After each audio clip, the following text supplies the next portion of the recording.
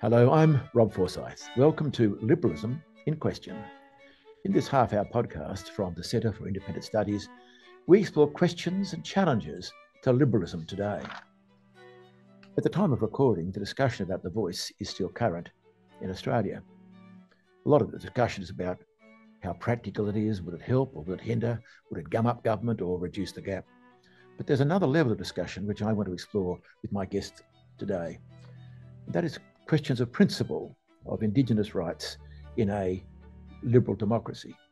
My guest is Professor Duncan Ivison, who's Professor of Political Philosophy at the University of Sydney. Duncan, welcome to Liberalism in Question. Thanks, Rob. Pleased to be here.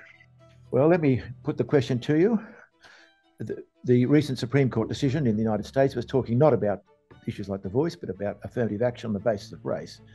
And one of the uh, judges said this, which I think many would agree with quote, distinctions between citizens solely on their ancestry are by their very nature odious to a free people whose institutions are founded upon the doctrine of equality. That is, I'd add, a liberal society. You, but you, you, you don't agree with that?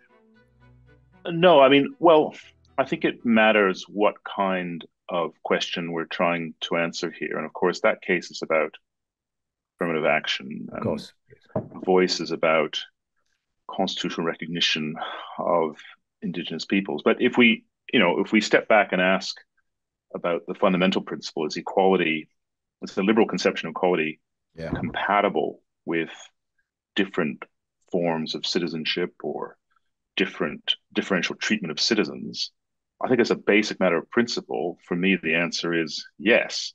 However, it really matters what conception of equality you're referring to and talking to talking about because the liberal conception of equality is multifaceted right? There's a not just simple uh, it's not a simple concept. And in, in some contexts treating like cases alike is the appropriate way of thinking about equality.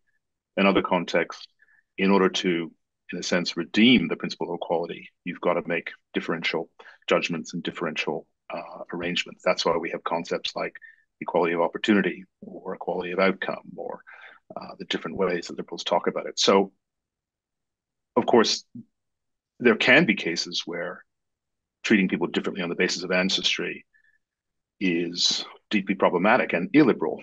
But there are other cases, as in the United States, uh, where the principle of equality is compatible with some forms of differential treatment.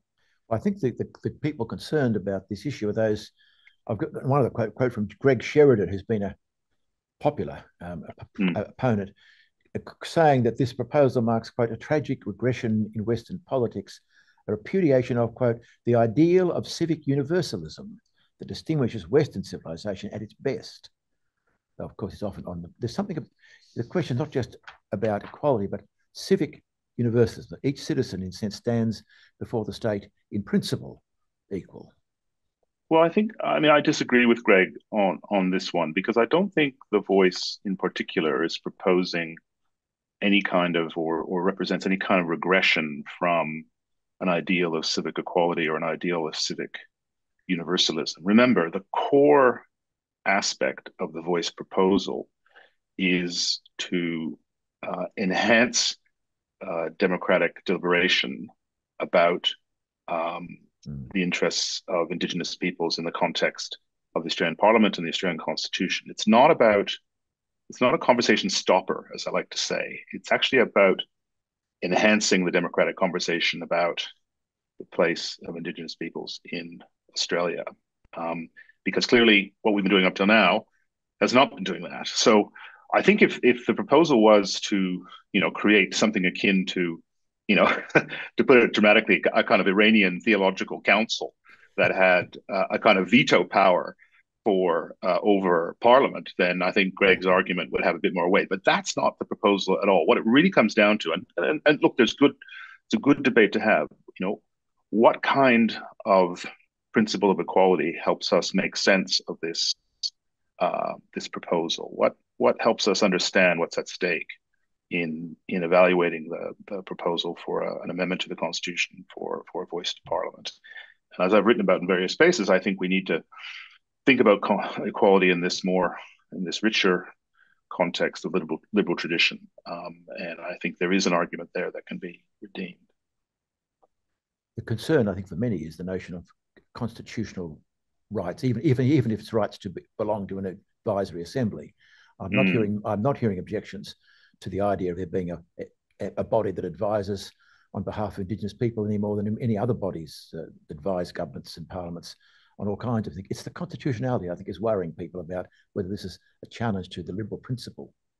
Yeah, well, I don't think, uh, again, um, you know, if one of the core principles of liberalism is this reconciliation between uh, liberty and equality and the extent to which democratic institutions help us reconcile these two sort of core concepts. I think for me, the voice is a, a kind of elaboration or innovation within that context, right? So the, the, the point of recognizing um, the voice in the Constitution is a means of addressing the, the fundamental place that Indigenous peoples have in Australian society and in the, history um, of the country. And I think, as I said, if the voice was a proposal to somehow um, separate uh, the uh, situation or or indigenous peoples from the state. If it was if it was there to, in a sense, override the, the, the decisions of Parliament, then I think we'd be in slightly dicier dicier territory. But it's not. It's essentially about democratic deliberation fundamentally.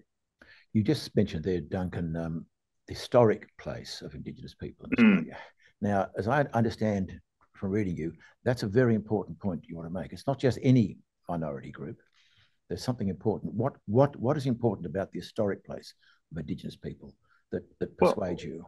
Well, I mean, I think, uh, I mean, for me, we have to take seriously the the the history of the settlement of Australia, and I think there is something fundamentally important to our assessment of the extent to which the voice is compatible with liberal democratic institutions and thinking about the fact that Australia was colonized, that indigenous peoples were um, sort of political entities when when Australia was first settled, and that aspect of Australia's constitutional settlement has remained unresolved. So I think there is something distinctive about the situation of indigenous peoples that does distinguish them from migrant groups or other kinds of, of, of groups that you might want to sort of compare or contrast. Or I've heard people say, well, why isn't there a voice for, you know, the Greek community or for the Vietnamese community?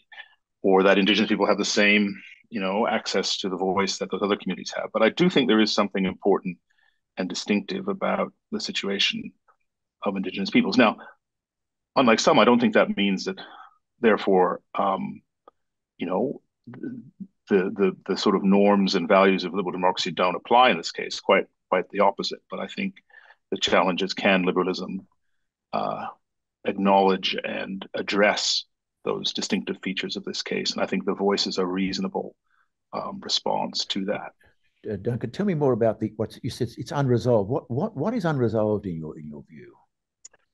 Well, I mean, yeah. Look, it's a really good question. I mean, for for me, what's unresolved is the place of Indigenous peoples in the constitutional order of Australia. Um, to a certain extent, there's been a kind of negative process, right? We've a very slow process of removing various aspects of that history. So, you know, the White Australia policy, um, the Mabo decision.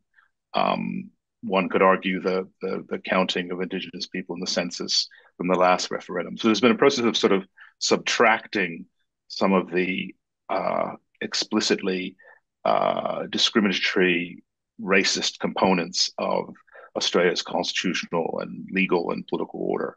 What remains unresolved is the appropriate place of Indigenous peoples in the constitutional order, given what I take to be their distinct status as Indigenous peoples. That's the part that's unresolved. And if you look around the world, different countries have addressed that in different ways. Canada has recognized um, Aboriginal uh, and First Nation treaty rights in their constitution.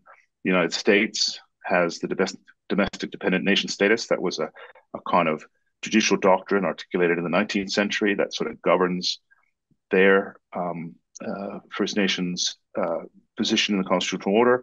And of course, in New Zealand, you have the Waitangi Tribunal. Yeah. it's a way of, of managing those relationships. Australia lacks any structure for doing that. And I think this is partly, I agree that this part has been sort of missing a bit from, from the debate. You, um, can I push a bit further here? Is there actually a question in your mind, therefore, about the legitimacy of the Australian Liberal state until so, this is resolved? Yeah, um, look, yeah, is, look. I mean, is, is, is, that what you're implying?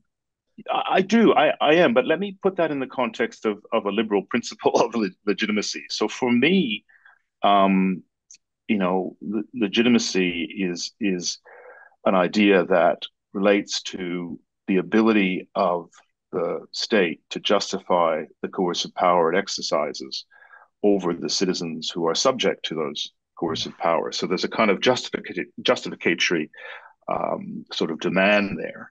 And um, the other thing I think that's important about a liberal principle of legitimacy, and this draws on different aspects of the tradition, but maybe most famously from the sort of more Republican side, the sort of more Rousseauian side, is that legitimacy is something that is constantly in question that is constantly being tested. Now, that's not to say that at any given moment in time, if you know I don't like paying my taxes, I don't think the state is legitimate. But in I'm sure many listeners feel that way. Uh, fair enough. But um, you know, the legitimacy. You know, Rousseau had this this idea uh, of sort of continuous consent, this continuous demand, this continuous sort of challenge to the state to uh, justify its legitimacy. Uh, I mean, I wouldn't go so far as Rousseau does. But I do think legitimacy is always uh, a question uh, being asked. It's always a question at stake in liberal um, democratic uh, context. And I think the case of indigenous peoples is a very interesting one. Not, I think, on some kind of, you know, uh, almost technical grounds that they never consented to the establishment of the state in the first place, but more are you know are is the state fulfilling or is is the state meeting the justificatory demand that liberals have for uh, legitimacy? And I think there's a, a reasonable case to be said that um, that's a question that is still a live one when it comes to the situation of Indigenous peoples, at least in Australia. So you don't think the lack of consent is in, in originally? I mean, uh, no, I mean I'm not a big. That, yeah, look, I'm not issue? a. I don't. I, I mean, I think I think uh, I'm not someone who thinks that legitimacy is grounded in in some sort of primal consent moment. I think it's no. it's relevant that um, you know to the well, you know to the extent I understand that, that the treaties were struck and all that, but you know the, the the the conception of legitimacy that I think is more interesting and more powerful here is the one that says uh, you know a state is legitimate to the extent that it can justify the exercise of its coercive powers over its citizens in a way that they couldn't reasonably reject or that they have some way of, in a sense, um, assenting to. And I think there's a reasonable question that one could ask about to the extent that Indigenous peoples have not uh, had the same ability to shape those laws and, and powers uh, that are being exercised over them as, as others, the legitimacy question is, is, is a good one to ask. When I think of the question of ongoing legitimacy, I, I, I can think of many Indigenous people who accept it, fully buy it. They say, that's it. Um, the, you, are here, we're part of you, get on with it. And others are still feeling very much a question about it. So there is not there's not one Aboriginal, of course, there's not one Aboriginal attitude to this. No, that's right. And that, and and look, you know, when we're talking about these, as I said, when we're talking about these questions of legitimacy, we're we're not talking about, um, as I said, either uh, one-shot deals. Right? You're you're unhappy with the government on Monday, and the government's illegitimate on Tuesday. We are talking about certain structural features um, of the system, and there's no question that there'll be disagreement amongst Indigenous communities about this. But I think, by and large, to the extent that the voice is itself the product of a general sense that the current arrangements are not satisfactory, um, there's a reasonable question to ask. But of course, in any in any of these cases, there'll be disagreement and, and different differing views so, about. So, about if it. If the state of Indigenous people was not if, if the gap was not the gap that it is, for example, particularly with remote communities, and Indigenous people were all like Indigenous people you often find in, in, in a, urban, urban Australia of similar standard of living and so forth as non-Indigenous Australians, would there still be in principle an argument for a voice? Yeah, I, it, I, I, do. I, I, I think I, I think there there is. As I said, it really matters though how we cash that out because um, you know I think of Indigenous peoples not necessarily certainly not as racial entities. I think that's a fundamental mistake. And the way I like to think of of them as uh, as a as a group is more along the lines of a, of a of a kind of political entity. Now, that leaves a lot of questions to be resolved. Yes, what kind what kind of entity is is that? But um, and of course, there's more than one indigenous nation or group. But I think that's the the, the, right starting point for how we begin to work through um, those questions. So you're right. If we think about the justification of affirmative action, if we think about the justification of certain kinds of group rights in liberal theory, if, if those rights are grounded in disadvantage, then the idea is that once the disadvantage is overcome, the right, the, the claim itself has sort of been yes, dissolved or has been has been resolved. I think this is a slightly different because um, in, case. Because in, that case, you wouldn't put it in the Constitution. Correct. Right? And correct. So and, uh, the, think... I'm hearing these arguments about closing the gap, and I think I think it was Jacinta Price put it well. If that's the reason for it, and you're putting the Constitution, you're saying we'll never close the gap. We'll always be. Uh, yeah. And I think that's a, that's that's not the right argument. If there is an argument. Yeah. So I. Yeah, look, so, so good. So I mean, so I do think disadvantage is, rele- is relevant here, right? Course, I mean, one motivation, yeah. no, no question, is is the persistent structural disadvantage that indigenous people face. But going back to when we were talking about, you know, the particular history of Australia and the and the particular history of indigenous people's initial exclusion from the state, and then, as it were, uh, sort of discriminatory way of being included. Um, I think I think it's more than just about um, addressing social and economic disadvantage, as important um, as that is. Well, um, there, there, were I don't know how many Aboriginal mobs. What, not, uh, I'm not sure what to call them. They, they, they, were political entities. These tribe mobs, nations. There's a whole range of them. The fact that there are so many, and uh, and and often, despite what some say, at war with each other, it was not a peaceful world anymore. Can you can they all be just lumped together then, the way that this proposal does, or are we really? Is, is that itself imposing something? So look, um, uh, you to be careful here. I mean, um, some of this is is a kind of question of institutional design. Some of it's question of, of, sort of principle. I mean, as I said, in principle, I think the right way of looking at um, Indigenous and First Nations is as as political entities or as as as groups that are political in nature rather than racial um, in nature. I think that's a fundamental um, mistake. Uh, then there's a question of well, then how does that get represented uh, to government? How does that get represented in our constitutional structure. And of course, that's the debate we're meant to have after the in-principle uh, decision is yeah. made about whether there will be a voice to Parliament. For my own view, from from my own perspective, you know, there are lots of good ideas in the Calma Langton report about how you might do that in Australia. In Canada, more than 50 years, almost 30 years ago, there was a Royal Commission that looked at this question. And again, they had a similar approach whereby there would be different models of representation whereby you could capture the diversity of these views, including, as you rightly said, um, the situation of urban uh, Aboriginal people who, as I understand it, though, often do have very strong relationships with yes, uh, yes. communities um, outside of the particular area they're living in in the city. So I think there are good answers to these questions, and I think it's a reasonable thing for Parliament to have a debate about if we get to that second stage. I, I think I think I was pushing back on the you said a political entity. It was the a political entity that I was challenging, which implies a a body. Fair enough. Yeah, I, I guess I, was. Wonder, how coherent is that really? Yeah. Look. look so look. F- fair comment. Maybe I misspoke there. I'm. I, uh, uh, in thinking about an indigenous people, I think of them as a as a political entity. There could certainly be more than one kind of political. There could be more than one political entity in thinking about indigenous. No, no, question. Have you ever seen indigenous politics in this? Absolutely, absolutely. Uh, and look, it's not as though our politics aren't uh, sort no, of complex, complex disagreement uh, and full of no, disagreement as well. So it's unrealistic to say somehow. I, know. I just didn't want to idealize them as a somehow a No, no, no. Sure, sure. But equally, we yeah, we shouldn't idealize um, both ways. no danger of that. No, no, that's right. Especially these days, that's right for sure. Yeah, yeah, yeah, yeah. Exactly. So it's the notion of uh, my question. Pushing back again is the notion of a political identity. Uh, identity um, is, is that itself imposing or create? I'll go back to creating an identity that really does. I'm think it doesn't because I'm thinking of extremes. Uh, some years ago, I spent six months, three months rather, working in Darwin as an acting dean of the cathedral there. I had an experience I'd never had before, walking down Smith Street, a bunch, of, a whole bunch of indigenous people, mob there, walking past me, talking in their language, mm-hmm. and me, and we, we passed each other like two different worlds. Mm-hmm. Right? That, uh, that was quite the, the bishop told me that's what Sydney was like uh, in the 1830s.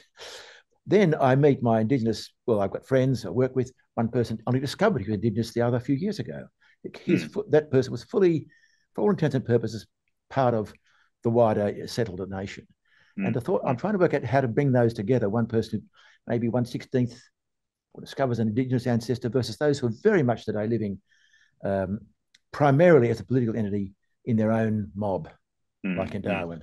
Yeah, yeah look, I mean, these are. That, is, is yeah, no, I, I, hear what you're saying. Yeah, I mean, these are these are often vexed issues, but you know, mine. Of course, we know that indigenous communities themselves have have very sophisticated, long-standing ways of of managing and dealing with membership questions, right? So it's not as though this is an issue that indigenous groups themselves aren't deeply familiar with and have means and, and ways of, of managing. So that's so that's one thing. I think second thing I think what you're getting at is, well, you know, how could a voice actually incorporate or make sense of, of, of this diversity and this well, range of, of, Well, it's it's, it's not so much practically how, which I think you're right. That's who knows how that'll work out. It's mm. for your argument to be a good argument. You're saying there is a political identity. It's not racial. Yeah. You made that point, which, mm. and I'm trying to. I'm just asking the question. Um, it seems to me very a very ragged political identity at certain ends of it. Sure, sure, sure. I mean, maybe ragged wouldn't be the word I use, but there's no question that it will be more diffuse. Diffuse, in, that's better. It's better Yeah, yeah, it'll be more diffuse at yes, some points diffuse, than yeah. than others. But you know, don't forget this is um, um, this is an issue that indigenous communities have been dealing with for quite some time, and um, to put it mildly, and as I said, they have their own uh, mechanisms and norms and ways of of dealing with membership questions. It's complicated, though. I'll say that uh, uh, for sure, because of course, membership of indigenous groups has been uh, mediated through um, the state as well. The state has intervened in in in, in yes. these areas as well. Famously, in you know in North America around blood quantum um, and all that. Uh, something that was imposed on, on indigenous communities, but then acquired a kind of life of its own. So you're right; these are complex questions, but I don't think they are of sufficient complexity to somehow suggest uh, a kind of in principle objection to to them uh, being a way of thinking through these these matters. Let me come at this uh, another question. I call this a statute of limitation question. Mm-hmm. Recently, I saw an article by a critic of The Voice that cited the Norman invasion of Anglo-Saxon Britain, and uh, that went on in you know 1066 and all that, and wondering whether um, I think no Anglo-Saxons are claiming rights against the Normans at this stage. It's just it's just too long far ago, too mixed up. Is there a statute of limitation in matters like this, where it's just simply it's it, it, sure no no state? I think you say in your book was it a Hegel? No, it was um, Leviathan. It was uh, Hobbes. Hobbes. This no no human state has a clear conscience about its founding. Mm. I think I think that's mm. a, a salutary yeah. reminder. We're yeah. all in that yeah. situation. Is there a time at which you say, look, yeah, it it, it maybe could have been better. Yeah, there's challenges of legitimacy, but frankly, let the past be the past. It's too long ago. So As I you would I, with the Norman invasion of, of, of Britain. Sure. I mean, I I think what's critical of England, I should say, England. I, I, think what's critical here is, I mean, in, in the extreme case where the where the where the people in question literally no longer exist or are are indistinguishable from um, uh, in the way that they were at the time. I mean, in those cases, sure, there there might be a statute of limitations. I mean, if if if a people has literally vanished, but I think I don't think that's the right comparison in this case because right. clearly um, First Nations people are still here.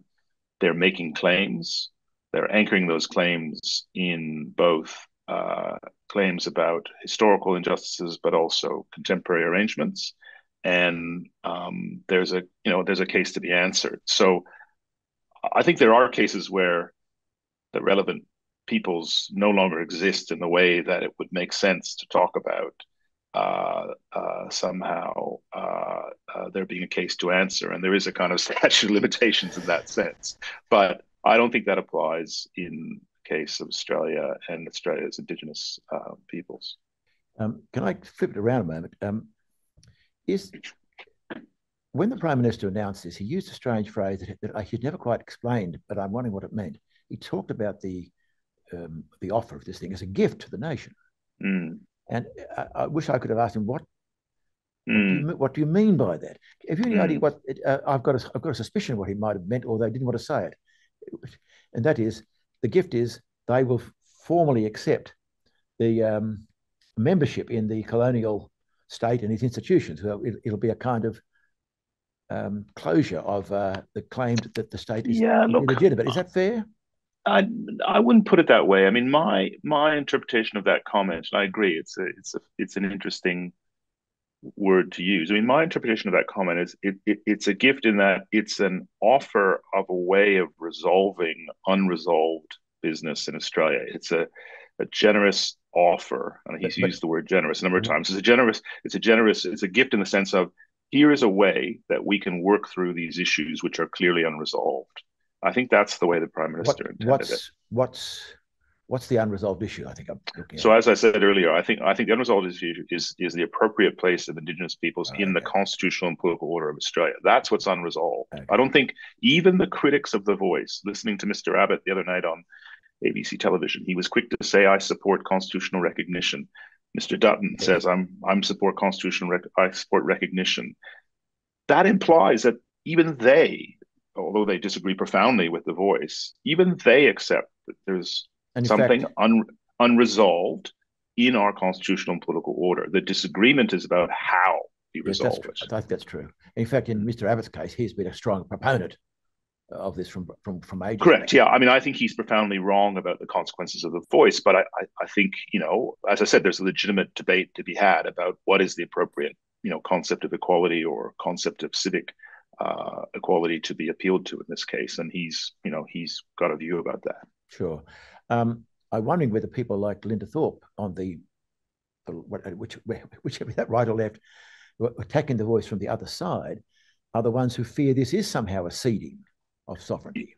Correct. I, I think you're right, and, and, I think there's a very clear argument from uh, someone like Senator Thorpe, who, who it goes something like this, which is um, the voice actually is asking us to, uh, uh, in a way, reconcile to a deeply unjust uh, constitution. The problem lies with the Australian state and the Australian constitution. And the voice is asking us, in a sense, to to reconcile with that. So, for for someone like Senator Thorpe, the the, the question is is is a sort of even more first principles based one. It's it's we have not ceded our sovereignty, and the voice is asking us to accept the sovereignty of the Australian Constitution. Now, you know, there, there's questions about whether that follows from the voice. Certainly, the proponents of the voice say it doesn't follow, and this is the first step to dealing with those other uh, profound questions about sovereignty and legitimacy.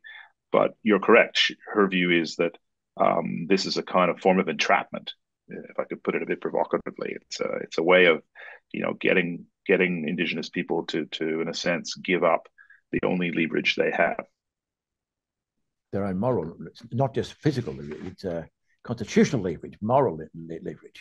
But that correct, but that, correct. But that but that view would be saying there that the state is in effect illegitimate. It's a colonial correct, state. Correct correct correct correct I, and i think like i said i have a slightly do i have a different view about the, both the nature of legitimacy and and and also about the the the the role that the voice um, could play. As I said, for me, the voice is a is a quite innovative way of putting in place a deliberative uh, mechanism to actually work through these issues between Parliament and the appropriate representatives and in the appropriate context of of Australia's constitution. So I don't see it as a as a form of entrapment, but I well I understand I understand the the, the objection. I understand the critique.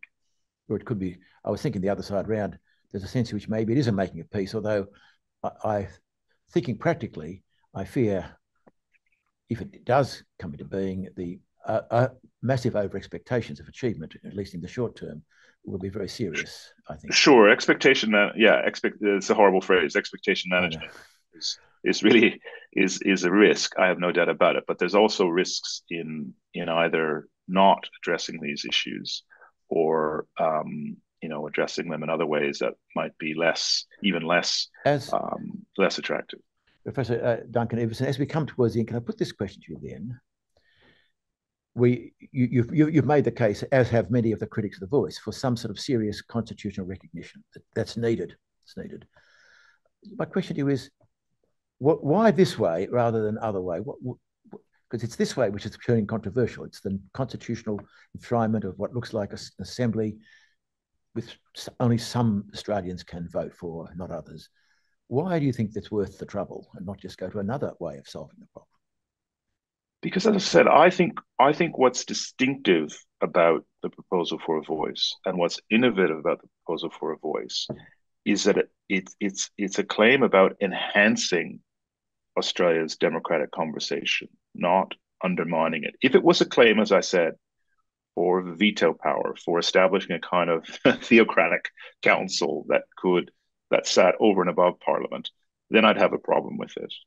Um, but it's essentially, for me, a deeply democratic move. It's about broadening the democratic conversation. It's about enhancing the voices of uh, Australia's First Peoples in a way that uh, I think is is relevant to uh, resolving the unfinished business of their place in our constitutional and legal order. And moreover, it's very it's it's very different from even a rights claim. So the claim is not to embed certain rights in the Australian Constitution that pertain to Indigenous people. The claim is to embed a democratic conversation in Australia's Constitution that pertains to Indigenous people. And I think that's a really interesting and powerful uh, claim to make. So your argument is that it's an addition which doesn't subtract from the liberal nature. Correct.